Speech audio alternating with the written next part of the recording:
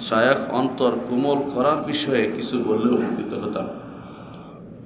অন্তর কোমল করার বিষয়ে কিছু বললে উপকৃত হতাম। এটা একটা ব্যাপক জিনিস যেটা একটা পূর্ণ একটা মহাদারার দাবি রাখে। পূর্ণ একটা আলোচনার দাবি রাখে, এক ঘণ্টার বা দুই ঘণ্টার আলোচনার দাবি রাখে। প্রশ্নটা জরুরি বিধায় অনেক মানুষই এখন অন্তর কঠিন হয়ে গেছে। দেখা যায়, আগেকার দিনে কেউ কাউকে মারার সময় চিন্তা করতো, কেন মারছে? এখন মারতে দ্বিধা করছে না। পয়সার বিনিময়ে একে অপরকে মারছে, রাস্তার মধ্যে রেখে আসছে সন্তান সন্ততিকে, রাস্তার মধ্যে বিক্রি করে দিচ্ছে পরিবারের কাউকে। অনেক সময় বাবা মাকে রেখে আসছে বৃদ্ধাশ্রমে। কত রকমের কত কিছু চালু হচ্ছে, এর একমাত্র কারণ হচ্ছে কাসওয়াতুল হুরুব বা অন্তরের কঠিন কঠিন, কাঠিন্যতা। অন্তরে এই রোগটির ব্যাপক প্রাদুর্ভাব ঘটেছে। এজন্য কিছু কারণ তো আছেই। আল্লাহ তালা কোরআনে করিম বলেছেন ওলা তাকুনু ওলা ইয়াকুনু কাল্লাযীনা উতুল কিতাব ক্বাবলু ফাকাসাত কুলুবুহুম। এরা যেন ইমানদাররা যেন কখনো আগেকার আহলে কিতাবদের মতো না হয়, যে আহলে কিতাবদের কাঠিন্যতা তাদের অন্তরে ছেয়ে যাওয়ার কারণে তারা আর কিতাবের দিকে মুখ ফিরিয়ে তাকাচ্ছে না। কেন সেটা হলো? অন্তর কিন্তু দুই প্রকার, তিন প্রকার। একটা হচ্ছে কাল মারিদ অসুস্থ, আর হলো কলবুল কাসি কঠিন, শক্ত হয়ে গেছে। আরেকটা হচ্ছে কলবুল মুস্তাকিম বা সুস্থ কলব তো কলবুল কঠিন যারা, যাদের অন্তর কঠিন হয়ে যায়, কেন হয়ে যায়, এটা আগে জানলে আমরা কিন্তু বাকিটা সহজে বুঝতে পারব। অন্তর কঠিন হয়ে যায় বেশিরভাগ সময় যে এক নম্বর হচ্ছে আল্লাহর জিকির থেকে দূরে থাকলে। আল্লাহ তালা বলে দিয়েছেন, ওমান আর দান দিক্রি ফা ইন্নালাহু মাইশাতন দঙ্কা ও নাকসুরু ইয়মল কিয়ামতে আরমা। আল্লাহর জিকির থেকে, অর্থাৎ কোরআন তেলাওয়াত থেকে, ওয়াজ শোনা থেকে, নসিহত শোনা থেকে, কেমন? মাসালা জানা থেকে, দিন থেকে, শরিয়া জানা থেকে দূরে থাকলে অন্তর কঠিন হয়ে যায়। এক নম্বর কারণ। দুই নম্বর কারণ হচ্ছে, ফরায়েজ, ফরজ কাজ আদায়ে বিঘ্ন ঘটলে। আল্লাহ তালা বলেছেন, ফবিমা নকদিহিম মিথা কম লান্নাহুম ও জালনা কুলুবম কাজিয়া। তারা তাদের আল্লাহর সাথে কৃত অঙ্গীকার ভঙ্গ করার কারণে তাদেরকে আমি লানত করেছি এবং তাদের অন্তরকে কঠোর করে দিয়েছি। অন্তর কঠোর একটা কারণ হচ্ছে ফরজ সালাতের ক্ষেত্রে গুরুত্ব না দেওয়া ঠিক মতো সুন্দরভাবে ফরজ সালাত আদায় না করা। এটা একটি গুরুত্বপূর্ণ একটি জিনিস। গুরুত্বের সাথে দেখা দরকার। তিন নম্বর যে কারণে অন্তর কঠিন হয়ে যায় তা হচ্ছে হারাম খাওয়ার কারণে। হারাম খাওয়া, হারাম খাওয়ার কারণে অন্তর কঠিন হয়ে যায়। রসুল্লাহ সাল্লাম বলেছেন, একজন মানুষ লম্বা সফর করে, আকাশের দিকে হাত তুলে বলতে থাকে ইয়ারব ইয়ারব তার হারাম খাওয়ার কারণে তার দোয়া কবুল হচ্ছে না। তার হারাম পরিদেয় হারাম, তার পানীয় হারাম, এসব কিছু হারাম হওয়ার কারণে তার কোনো কিছুই কবুল হচ্ছে না। এর অর্থ হচ্ছে যে হারাম খাইলে অন্তর কঠিন হয়ে যায়। হারাম আজ আমাদের চেষ্টা করলেও অনেক সময় বাঁচতে পারি না। অনেক সময় দেখবেন আপনার রুজি রোজগারের চিন্তা করতে গিয়ে মানুষ এমন এমন পদ্ধতি অবলম্বন করে যেগুলো সন্দেহজনক। আল হালাল উবাইন আল হারাম বাইন বাইনাহমা অমর মুস্তাবিহাত হারাম, স্পষ্ট, হালাল, স্পষ্ট, এর মাঝখানে কিছু আছে অস্পষ্ট। তো অস্পষ্টগুলোর দিকে যে ব্যক্তি যাবে, সে ধীরে ধীরে অন্তরটাকে কঠিন করে ফেলবে। আরেকটি কারণে অন্তর কঠিন হয়ে যায়, তাহলে অতিরিক্ত গুণা গুণা এমনভাবে হচ্ছে, আপনি না চাইলেও গুণা হয়ে যাচ্ছে। রাস্তা দিয়ে হাঁটছেন, দেখবেন যে কীভাবে মানুষ চলাফেরা করছে। মেয়েরা কীভাবে লঙ্গপনা করছে? আপনি ঘরে বসছেন, আপনার ঘরে টিভি চালু করে দিয়ে আপনার ঘরের ভিতরে ব্যবসাখানা করে তৈরি করে দিয়েছে। ঘরের ভিতরে ছেলে ঢুকিয়ে দিচ্ছে, মেয়ে ঢুকিয়ে দিচ্ছে, কঠিন অবস্থা তৈরি করে দিচ্ছে। আপনি যে বাঁচবেন কোনো রকমে সেই গুণা থেকে, সেই পরিস্থিতি আপনার জন্য আর রাখেনি। তো গুণা হচ্ছে, এর কারণ অন্তর কঠিন হয়ে যাচ্ছে।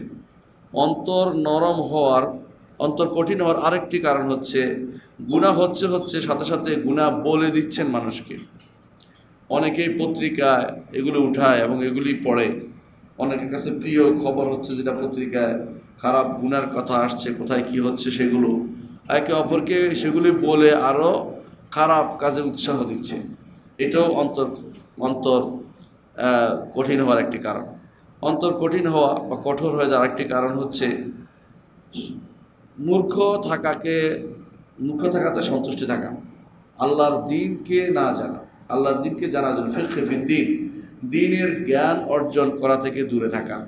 এর মাধ্যমে অন্তর কি কঠিন হয়ে যাচ্ছে। কারণ যত বেশি আল্লাহকে ভয় করবে, তত বেশি অন্তর নরম হবে। আল্লাহকে কারা ভয় করে? ইন্নামা একশাল্লাহ মিন এবাদি ওলামা আলেমরা, ফকিরে শুধু আল্লাহকে ভয় করে। হ্যাঁ? আরেকটি কারণ হচ্ছে অন্তর কঠিন হয়ে যাওয়ার প্রবৃত্তির অনুসরণ। আমরা প্রবৃত্তির অনুসরণ ক্ষেত্রে কোনো কিছুই বাজাজ বা যাচাই বাছাই করছি না, সবই অনুসরণ করে যাচ্ছি, ভালো মন্দ সব। আল্লাহ তালা বলছেন, ফালাম্মা আজাগু আজাগ আল্লাহ কুলুবাহম। যাদের তাদের অন্তর বাঁকা, নিজেরা বাঁকা করল, আমিও তাদের অন্তর বাঁকা করে দিলাম। প্রবৃত্তির অনুসরণ করলে ধীরে ধীরে অন্তর কঠিন হয়ে যায়। অনুরূপভাবে বেদাতিদের বই পড়লে অন্তর কঠিন হয়ে যায়। বেদাতিদের বইয়ের মধ্যে ওই বইগুলি অন্তর্ভুক্ত, যেগুলো আপনি অনেক লেখকের বই পাবেন, মানুষ নভেল হিসাবে পড়ছে। হ্যাঁ? সিরিজ বই পড়তেছে, মাসুদ রানা, অমুক, অমুকের সিরিজ। এগুলি পড়লে আপনার অন্তর কঠিন কঠিন হবেই হবে। এগুলির মধ্যে শিক্ষণীয় কোনো কিছু নাই, শুধু আপনাকে খারাপ পথে নিয়ে যাবে। একটা উদাহরণ দিচ্ছি শুধুমাত্র, এরকম আরও বহুত জিনিস আছে যেগুলো মানুষকে দিন থেকে দূরে সরিয়ে দেয় এবং অন্তরকে কঠিন করে ফেলে। অন্তর কঠিন করা, আরেকটি হচ্ছে অহংকার করা, অসচ্চরিত্রবান হওয়া, এগুলি অন্তর কঠিন করে ফেলে। আরেকটি হচ্ছে অতিরিক্ত কথা বলা, অতিরিক্ত বাজার ঘাটে বসে আড্ডা দেয়া, এগুলো অন্তরকে কঠিন করে ফেলে। কারণ এগুলো মানুষকে দিন থেকে দূরে সরিয়ে দেয় ধীরে ধীরে এবং ধীরে ধীরে তার মধ্যে আল্লাহর প্রতি যে ভয় থাকা উচিত, সেটা তার মধ্যে আর থাকে না। অন্তর কীভাবে, তাহলে কীভাবে অন্তর আপনি অন্তরটাকে নরম করবেন? এক নম্বর হচ্ছে সর্বদা জিকির করবেন। রসুল্লাহ সাল্লাহ আলিয়াল্লামের কাছে এক লোক ওসিয়ত চেয়েছিলেন। রসুল্লাহ সাল্লাহ আসলাম বলেছিলেন যে, তোমার জিব্বা যেন সবসময় আল্লাহর জিকিরে তাজা থাকে, আল্লাহর জিকিরে যেন ভিজে থাকে। অর্থাৎ তুমি সবসময় যেন সুবহান আল্লাহ আলহামদুলিল্লাহ, আল্লাহ আকবর আল্লাহ এগুলিতে তুমি যেন ব্যস্ত থাকো। আর যেগুলি হাদিসে আসছে, যেমন সুবহান আল্লাহ বেহামদি সুবহান আল্লাহ আদিম সুবহান আল্লাহ আদিম বেহামদিহি। এগুলি বেশি আসছে হাদিসে। এগুলিকে বলা হয় আল বাকিয়াত সালেহাত। এই বাকিয়াত সালেহাতগুলো যথাযথভাবে আমল করলে অন্তর ইনশাআল্লাহ নরম হবে। দ্বিতীয় যে কাজটি কর- করবেন অন্তর নরম হওয়ার জন্য আল্লাহর কাছে হেদায়েত চাইবেন এবং কান্নাকাটি করে চাইবেন, আল্লাহ, তুমি আমার অন্তরকে নরম করে দাও। অন্তরকে নরম করে দাও। তৃতীয় যে কাজটি করবেন তা হচ্ছে ফরজ সলাদগুলো ঠিক টাইম মতো জামাতের সাথে আদায় করবেন এবং সেটার জন্য প্রয়োজনে ইমামের পিছনে দাঁড়ানোর চিন্তা করবেন। আমি একজনকে বলেছিলাম সেজন্য যে, যখন আমাকে বলছে একটি ওসিয়ত করেন আমি বলছিলাম যে ইমামের পিছনে দাঁড়াবেন প্রথম রাখাতে উদ্দেশ্য ছিল এটাই যাতে তিনি প্রথম রাকাত তাহলে আগে আসতে হবে, আর সবই হবে। তাহলে উনি কিন্তু এই ভুলটা না করলে কিন্তু এই এই জিনিসটা পূরণ করলে কিন্তু আর অন্তর কঠোর কঠোর হয়ে যেত না। মানুষ সারাক্ষণ চিন্তা করবে যে আমি কোনো ভালো কাজের মধ্যে থাকি। এই চিন্তাটা খুব জরুরি। এই জন্য সবসময় ফরজের ক্ষেত্রে সবসময় গুরুত্ব দিয়ে ফরজ সলাদ যেন আপনার থেকে ছুটে না যায়। কারণ ইন্না সলাত ফাহসা ওয়াল মুনকার। চতুর্থ যে কাজটি করা দরকার সেটা হচ্ছে যে হালাল রোজগারের ক্ষেত্রে হালাল রোজগার করবেন। হালাল রোজগার করবেন। হারাম রোজগার থেকে দূরে সরে থাকবেন, হালাল রোজগার করবেন, আর আমানতের সাথে আদায় করবেন কর্মকাণ্ড। আমানতের সাথে কি? আপনার মালিক দেখছে না বলে দুইটা বাজে দোকান বন্ধ করে দিয়ে চলে আসবেন না। হ্যাঁ আর একটু আড়াইটা যদি বন্ধ করা থাকে, আড়াইটাই বন্ধ করবেন। আমানতের সাথে কাজ করবেন। আমানত ধীরে ধীরে আমানত আল্লাহর পক্ষ থেকে অন্তরে নাজির করা হয় জিনিস। যখন মানুষ আমানতদার, আমানত ছেড়ে দেয়, তখন অন্তর কঠিন হয়ে যায়। তখন সে হয়ে যায় তখন হয় খেয়ানতকারী হয়ে যায়। আর খেয়ানতকারী হতে হতে অন্তরটা কঠিন হয়ে যায়। পঞ্চম যে কাজটা করবেন সেটা হচ্ছে, যতটুকু সম্ভব নফল সলাৎ, নফল কাজ করবেন। যতটুকু সম্ভব, সারাক্ষণ খাইয়ে রান ভালো কাজের মধ্যে নিজেকে লিপ্ত রাখবেন। হ্যাঁ ছয় নম্বর হচ্ছে, দানের ক্ষেত্রে হাত প্রসারিত করবেন। আত্মীয় স্বজন আল্লাহ তালা যা দিয়েছে তার মধ্য থেকে আল জু, আল আল ইনফাক মিনাল ইফতার কম হোক, বেশ হোক, তা থেকে দিব। আপনার দশ টাকা আছে, এক টাকা দেন। আপনার দুইশো টাকা আছে, এক টাকা দিলে হবে না। সেখান থেকে বিশ টাকা দেন। হ্যাঁ তাহলে বোঝা গেল আপনি অন্তত দশ ভাগের এক ভাগ দান বা যতটুকু আপনার সামর্থ্য আছে দান করবেন। এর মাধ্যমে ইনশাল্লাহ অন্তর নরম হবে আপনার। সাত নম্বর হচ্ছে মৃত্যুর কথা স্মরণ করবেন। মৃত্যুর কথা স্মরণ করবেন। এবং কবরের কথা স্মরণ করবেন। আপনাকে ফেলে ফেলে আসবে নিঃসন্দেহে। আপনাকে আমাকে ফেলে আসবে, কেউ দেখতে যাবে না। সেখানে মার দিলেও কেউ কিছু করতে পারবে না। দুনিয়ার বুকে মার দিলে কোর্টে যান, বিচার দিতে যান, কিন্তু কবরে গেলে আপনার কি হবে একটু আগে থেকে চিন্তা করে যান। আমার, আপনার সেই জায়গাতে কি হবে আগে থেকে চিন্তা করলে অন্তর নরম হবেই। যে আমি কঠোর কেন হব? আমার যে আখরাতের পরিণতি কি হবে একটু যদি চিন্তা করি, তাহলে কখনো আর অন্তর কঠোর হবে না, অন্তর নরম হতেই থাকবে। আট নম্বর যেটা করা দরকার সেটা হচ্ছে, এলমের মজলিসগুলোতে হাজির থাকবেন, জ্ঞানের মজলিসগুলোতে হাজির থাকবেন। অর্থাৎ যেরকম আজকে আসছেন আপনারা, এরকম দিন এলমের মজলিস যেগুলো আছে, এই মজলিসগুলো নিরেট এলমি মজলিস। রাজনৈতিক কোনো মজলিস না, এগুলি কোনো হানাহানির মজলিস না, মারামারির মজলিস না। আল্লাহর দিন শিখার মজলিস, এগুলিতে হাজির থাকবেন। এগুলির মাধ্যমে আপনার দিন, আপনার অন্তর, দিল, অন্তর ধীরে ধীরে নরম হতে থাকবে এবং আপনি সত্যিকার অর্থে আল্লাহ তালার রহমত পেতে পারেন। নয় নম্বর হচ্ছে বেশি বেশি করে তওবা ইস্তেকভার করবেন। রসুল্লাহ সাল্লাহ ইসলাম তওবা ইস্তেকভার বেশি করতেন বেশি করতেন। যত বেশি তওবা ইস্তেকভার করবেন, তত বেশি অন্তর নরম হতে থাকবে। মনে করবেন, ক্ষমার দ্বারা আপনার অন্তর যত কারণ আল্লাহ তালা বলছেন, কাল্লা কাল্লাবাল রান আলা কুলবিম অন্তর মরিচা পড়ে যায়। যেগুলো মরিচা পড়ার তো শক্ত হয়ে যায়। যতই আপনি তাড়াবেন এটাকে, ততই অন্তরটাকে নরম হতে থাকবে। কলবের মধ্যে আপনার কি নম্রতা আসবে, নরম হবে এবং কঠোরতা থেকে আপনি মুক্তি পাবেন। দশ নম্বর হচ্ছে, সব সময় চিন্তা করবেন, সলফে সালেহীন কোন তরিকায় চলেছে? আমাদের আলেমরা, আবু হানিফা রাহেমাল্লাহ তিনি রাতের বেলা কমই ঘুমাতেন এবাদত করতেন।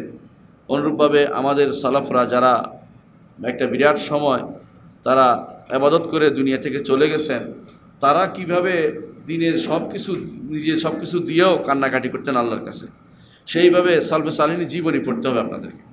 এই জীবনী পড়ার জন্য ভালো গ্রন্থ হচ্ছে সাহাবায়ক রামের জীবনী পড়া তাবেইনদের জীবনী পড়া।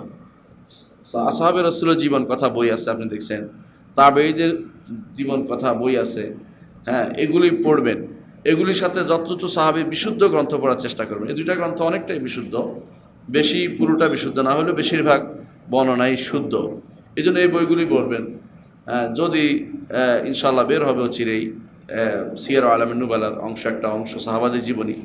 সেটা বের হলেও, সেটা ইনশাল্লাহ কিছুদিনের মধ্যে বের হচ্ছে, হয়তো কয়েক, এক মাসের মধ্যেই। সেটাও কিনবেন। কেন? জীবনী পড়লে আপনি বুঝতে পারবেন যে তারা কীভাবে জীবন অতিবাহিত করেছে?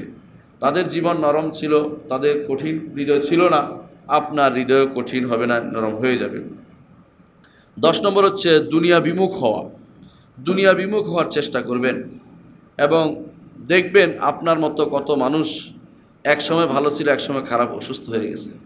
এই জন্য বেশি বেশি করে দেখবেন দুনিয়া বিমুখ হবেন কেন? দুনিয়া পয়সাওয়ালা যারা ছিল, তাদের কি অবস্থা হয়েছে? কিছুক্ষণ দেখবেন তাদের অবস্থাটা, তারপর আপনার অবস্থার পরিবর্তন হবেই হবে অন্তরে। যে কি ছিল, কি হয়ে গেল? এটাই। বারো নম্বর হচ্ছে যেটা সর্বশেষ আমি বলতে চাচ্ছি যেটা হচ্ছে আপনি চিন্তা করবেন সবসময় অসুস্থ রুগীদের একটু দেখে আসতে। অসুস্থ রুগীদের হাসপাতালও দেখতে পারেন, তার বাড়িতেও দেখতে পারেন, যেখানে সুযোগ আছে সেখানে দেখবেন। বিশ্বাস করেন, অসুস্থ রোগী দেখার পর আপনার মনে হবে, আল্লাহ আমাকে কত সুস্থ রেখেছে। আপনার সন্তানদের কথা মনে হবে যে এই সন্তান কত অসুস্থ। আমার সন্তানেরও তো আল্লাহ সুস্থ রাখছে। আল্লাহর কাছে নথি স্বীকার করাই হচ্ছে মন নরম হওয়ার একটি কারণ। এগুলো আমি বলছি, এর বাইরে আরও আছে। এগুলো দ্বারা আমরা বুঝতে চাচ্ছি এটা যে আল্লাহর কাছে নরম হতে হলে মোট কথা সবসময় কোনো ভালো কাজে লেগে থাকতে হবে। কোনো ভালো কাজে লেগে থাকতে হবে। কখনও আল্লাহর জিকির থেকে দূরে সরে যাওয়া যাবে না। এগুলো সবই জিকির। ভালো কাজ সবই আল্লাহর স্মরণ করা। আল্লাহর স্মরণে থাকলে আল্লাহ তালা আপনার অন্তরকে স্মরণ আল্লাহ তার জন্য তৈরি করে দিবেন, তার জান্নাতের জন্য তৈরি করে দিবেন।